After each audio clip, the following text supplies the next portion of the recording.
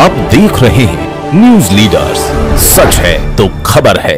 खरगोन के विधानसभा क्षेत्र में आज मध्य प्रदेश के नगरीय प्रशासन मंत्री कैलाश विजयवर्गीय लोकसभा खरगोन के कार्यालय का उद्घाटन करने खरगोन पहुँचे। खरगोन विधानसभा के कार्यालय के उद्घाटन के अवसर पर अपने उद्बोधन में कहा कि मेरे खरगोन के आदिवासी मतदाता भाई बहन बड़े भोले हैं। उनको जो जैसा बोल देता है, वो वैसा करने लगते हैं। और आजकल उनके कुछ नेता दिशाहीन हो गए और इसलिए बहुत ज़रूरी है कि हम हमारे आदिवासी भाई बहनों के बीच में बैठकर काम करें और उन्हें समझाएँ। उन्हें हमें समझाना पड़ेगा। खरगोन की मुझे ज़्यादा चिंता नहीं है। इस लोकसभा में जो आदिवासी विधानसभा है, वहाँ पर खरगोन के भाजपा के कार्यकर्ताओं को आदिवासी भाई बहनों के बीच में बैठकर उन्हें समझाना पड़ेगा कि देश की आवश्यकता है। मोदी देश को मज़बूत कोई कर सकता है तो वो है मोदी। आदिवासियों को सम्मान जो दिला सकता है तो वो है मोदी। जिसने द्रौपदी मुर्मू को राष्ट्रपति बनाकर आदिवासियों का सम्मान बढ़ाने का काम किया वे है मोदी। और इसलिए उनके बीच में जाना और उन्हें समझाना ज़रूरी है, क्योंकि उनके बीच में जो नेता है, उन्हें बड़ी जल्दी गुमराह कर देते हैं। मैं खरगोन के कार्यालय का उद्घाटन इसलिए नहीं करने आया कि खरगोन विधानसभा से पचास हज़ार वोट से जीतो।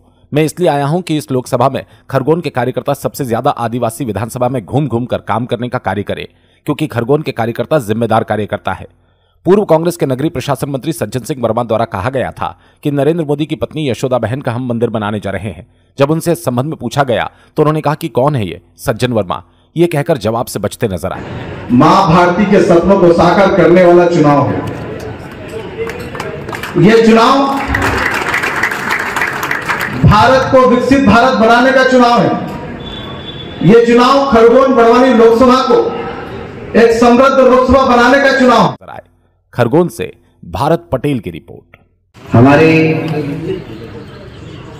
खरगोन में बहुत सारे आदिवासी मतदाता भाई हैं बड़े भोले बहुत सी। उनको जो जैसा बोल देता वैसा करने लगते और आजकल उनके कुछ नेता दिशाहीन हो गए। और इसलिए बहुत ज़रूरी है कि हमारे आदिवासी भाइयों के बीच में बैठकर हम काम करें। उन्हें समझाएँ। उन्हें हमें समझाना पड़ेगा। खरगोन की मुझे ज़्यादा चिंता नहीं। इस लोकसभा में जो आदिवासी विधानसभा क्षेत्र है, वहाँ पर खरगोन के लोगों को जाकर और हमारे आदिवासी भाइयों के बीच में बैठकर समझाना पड़ेगा, क्या देश की आवश्यकता है मोदी? देश को मज़बूत अगर कोई कर सकता है तो मोदी। आदिवासियों को सम्मान कोई दिला रहा है तो मोदी। आदिवासियों को सब सर्वश्रेष्ठ सम्मान दिया है तो द्रौपदी मुर्मू को राष्ट्रपति बनाकर आदिवासी समाज का सम्मान बढ़ाने का काम किया है, उसका नाम है मोदी। और इसलिए उनके बीच में जाना उन्हें समझाना क्योंकि उनके जो नेता हैं, वो बड़ी जल्दी गुमराह कर देते हैं।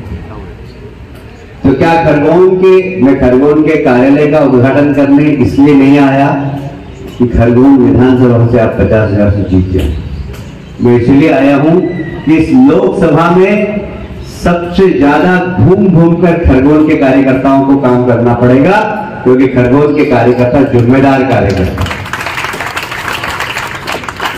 देश को आगे बढ़ा रहे हैं। और ईडी गठबंधन देश की चिंता नहीं कर रहा, वो कुर्सी की चिंता कर रहा एक तरफ़ जहाँ मोदी जी देश के लिए राजनीति करते हैं इंडी गठबंधन कुर्सी के लिए राजनीति करते उनके गठबंधन के लोग किस प्रकार काम कर रहे हैं, इसको देखने की ज़रूरत है।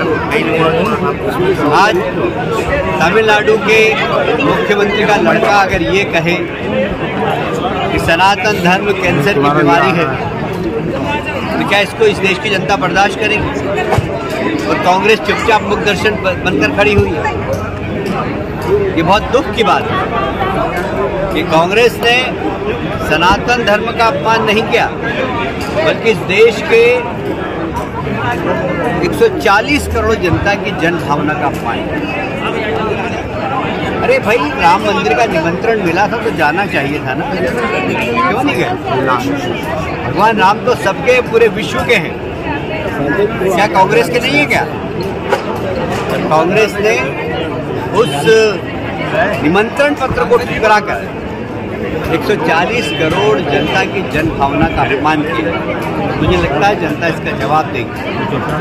हम सबने कमर कस रखी सज्जन सज्जन प्रदेश देश सज्जन सिंह वर्मा ने जनता पार्टी का चुनाव अभियान प्रारंभ हो गया हमारी सारी विधानसभा में चुनाव कार्यालय खुल गए।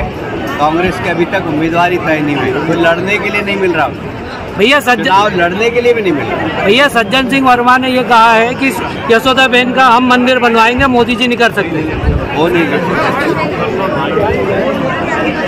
मैं सिर्फ़ इतना ही कहना चाहता हूँ कि आज देश के लिए मोदी आवश्यक है भारतीय जनता पार्टी आवश्यक है। और इसलिए मैं आपके माध्यम से खरगोन की जनता से अपील करना चाहता हूँ देश को आगे बढ़ाना है हमारे बच्चों का भविष्य अच्छा करना है महिला सशक्तिकरण के विषय में देखना है महिलाओं का सम्मान बढ़ाना है। भारतीय जनता पार्टी की सरकार एक बार फिर से बने देश दुनिया का सबसे ताकतवर देश बनेगा ये हम सबको भैया कांग्रेस उनतीस सीट जीतेंगे।